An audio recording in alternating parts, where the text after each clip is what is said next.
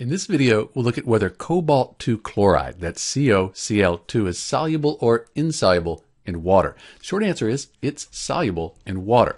So these solubility rules are really helpful for figuring out whether something's soluble or not in water. We look down the rules, we see right here compounds with chloride ion, cobalt chloride. Compounds with the chloride ion are soluble. There are a few exceptions, silver, lead, mercury, but cobalt, that's not an exception. So in answer to our question, cobalt 2 chloride will be soluble in water. What that means is we know that chlorides have that minus charge, 1 minus. We have two of them, so the cobalt has to be 2 plus. That's why we're calling it cobalt 2 chloride.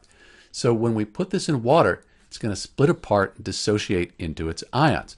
We'll have this cobalt 2 ion, Co2 plus, that'll be aqueous. We'll have two chloride ions, Cl minus, which will also be aqueous. This is Dr. B talking about the solubility of CoCl2. Thanks for watching.